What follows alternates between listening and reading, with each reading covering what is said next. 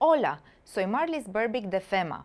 Estoy aquí para hablarles del programa de asistencia de alojamiento transitorio TSA por sus siglas en inglés. Este programa provee alojamiento temporero en hoteles o moteles para los sobrevivientes de desastre.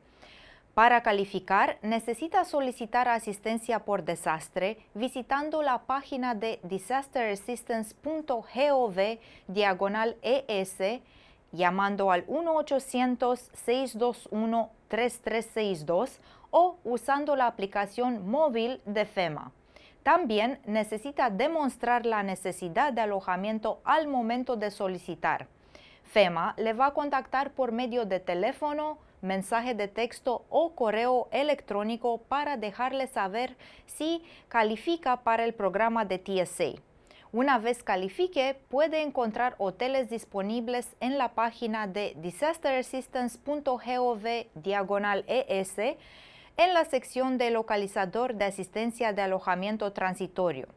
Si tiene una discapacidad o necesidades de acceso funcional, por favor verifique que el hotel tenga disponible habitaciones accesibles.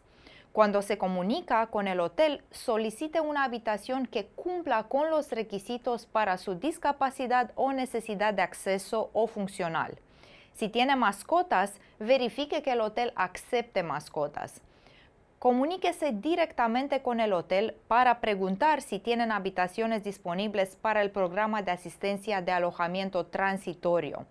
Si hay habitaciones disponibles, vaya al hotel en persona para reservar su habitación. No olvide, antes de viajar, verifique la disponibilidad de habitaciones.